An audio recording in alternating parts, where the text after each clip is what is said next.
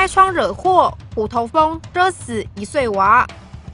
新竹市这名可爱的一岁女婴黄晴月，前天在屋内被飞进来的虎头蜂蛰死。前天下午，女婴两位小姑姑和小表姐去她家玩，三个小女生把小月带到二楼房间玩耍。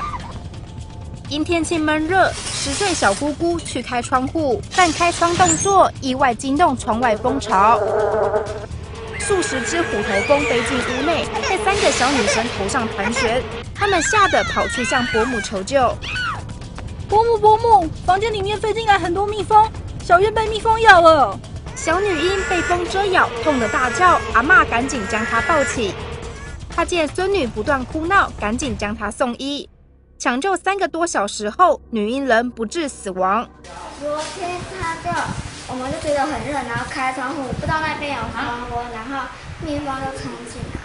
有咧哭啊，但是无精神，无精神。讲女婴阿嬷伤心痛批台大新竹分院延误治疗。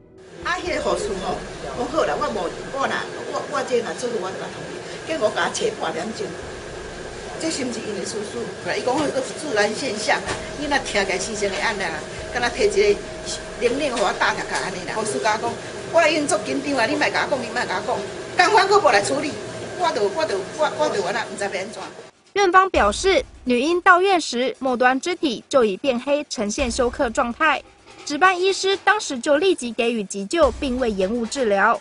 昨天遗体相验，发现女婴身上至少有十处遭蜂蛰咬，身体无法承受蜂毒，造成器官衰竭不治。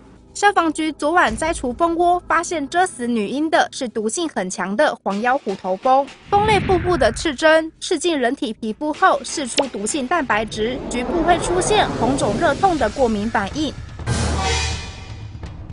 若受到很多蜂刺攻击，体内的毒素过多，就会引起全身性的过敏性休克或横纹肌溶解、肝肾衰竭的毒性症状。严重会导致多重器官衰竭致死。专家提醒民众，在郊外最容易遇到蜂群，民众登山不要穿颜色鲜艳的衣服，也不要喷香水。